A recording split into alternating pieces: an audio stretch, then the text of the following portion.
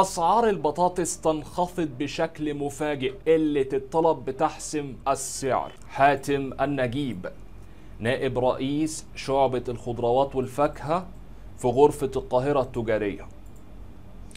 قال لأحد الصحف المحلية إن أسعار البطاطس شهدت نزول طفيف في الأسواق مع بداية الأسبوع ده. النجيب وضح إن سعر كيلو البطاطس دلوقتي بيكون ما بين 15 و 20 جنيه في سوق الجملة وده مقارنة بسعر 20 و 25 جنيه الأسبوع اللي فات.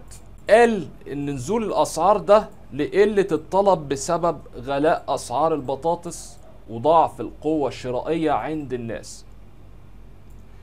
كمان أشار إنه رغم نزول الأسعار الأسعار لسه مرتفعة مقارنة بنفس الفترة من السنة اللي فاتت. الأسعار في الأسواق بتتراوح ما بين 25 و 30 جنيه للكيلو حسب كلام النجيب.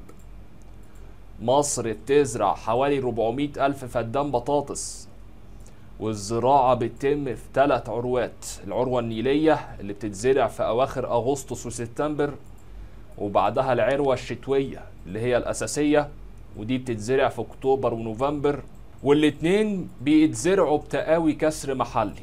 وبعد كده العروة الصيفية اللي بتتزرع في ديسمبر لحد أواخر فبراير ودي بتتزرع بتقاوي مستوردة من الاتحاد الأوروبي حسب تقارير وزارة الزراعة.